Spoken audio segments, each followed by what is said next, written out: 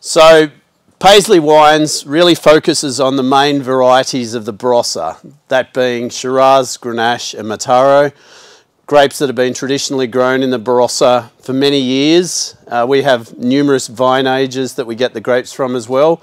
But the main thing is, uh, yes, it's those varieties and also a Riesling and a Fiano from Adelaide Hills. But we really focus on the main varieties because we believe that's what Barossa traditionally does best.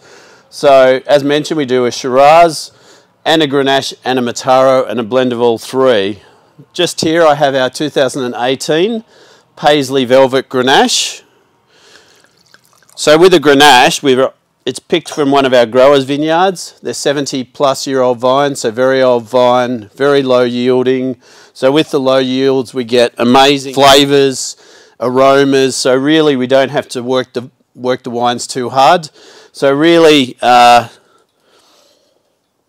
you can see it's quite a, a more of a uh, crimson red, so a bit lighter in colour, quite spicy, full, uh, rich. So with the Grenache, as mentioned before, we do a lot of whole bunch, so probably about 30% whole bunch with a Grenache.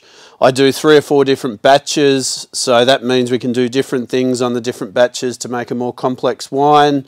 Part of it is left on skins for up to two months, so that actually adds to the texture and flavour. So with this Grenache, even though it's got lovely fruit, lovely flavour, it's also about the texture and the mouthfeel. So we really want the wine to go well with food, and what helps it do that is the tannins in the wine and the texture. So yes, lovely bright, lifted cherries, bit of uh, sarsaparilla, some spices.